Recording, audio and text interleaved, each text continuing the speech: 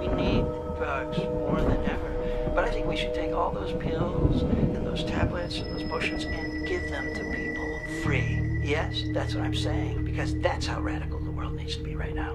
Free drugs, free healthcare, free access for all. You really think that's practical? Well, who's to say what's practical anymore? That's pre-miracle thinking.